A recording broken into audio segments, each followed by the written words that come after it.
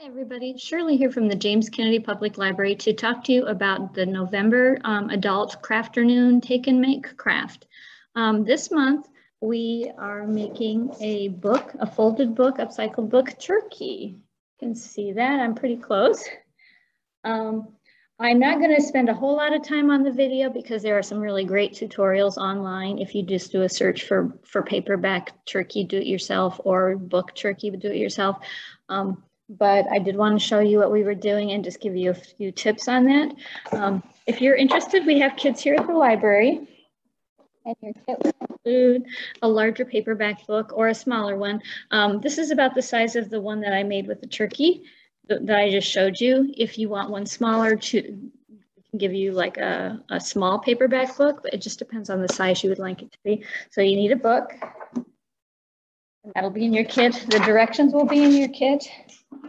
And so will the turkey head um, printed out for you. So, so this part right here.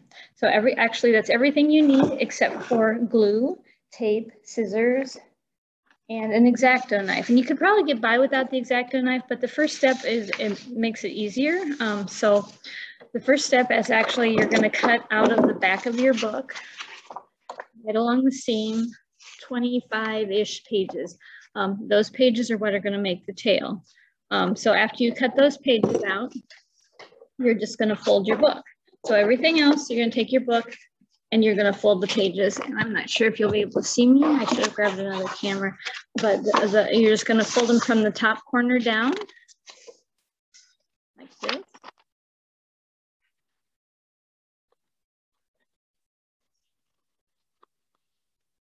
See that? And you're just going to keep doing that until you've done the whole book.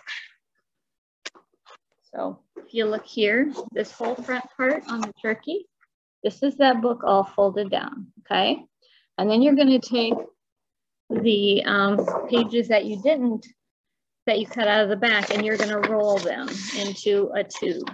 And those are going to make the wings. So that takes a little bit of practice, but basically you sit the paper down so it's um, vertical the, the long part, the short part, I guess, facing you, and then you just kind of roll the corner until you get a cone.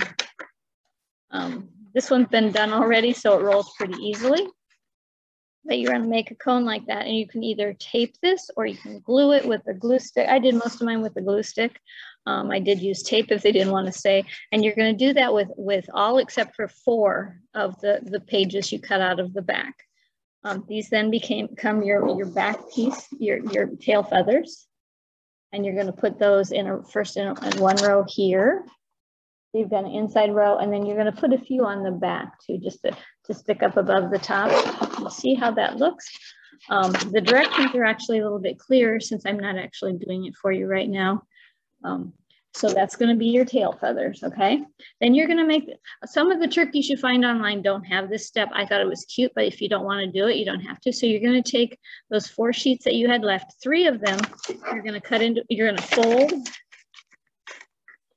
them into quarters, and then you're going to cut them into quarters. So basically you, you're going to have four small you're going to have four small pieces of paper and then you're going to roll those into cones too. So that's what these little ones are here. You're, then you're gonna glue two of them together and put a third one on the top and then two more together and a third one on the top. And then those are gonna be glued together and just put along the flat part of your, the flat part of your turkey.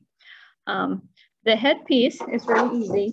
Um, you have a photocopy, you have that in your kit. You just need to fold that right along the crease, right here, Make sure it lines up, glue, run some glue or glue stick on it and then cut it out. Um, then make sure make sure you leave some of the, the, the tail part on here. And um, you just tuck it into where the neck is of your turkey right here. I didn't even actually glue mine, I just tucked it in, but you can glue it so it's gonna be more permanent. And that's your turkey. So we do have these kits ready to go. Um, just ask for one at the front desk. Um, and you should be good to go. Enjoy your day. Thank you.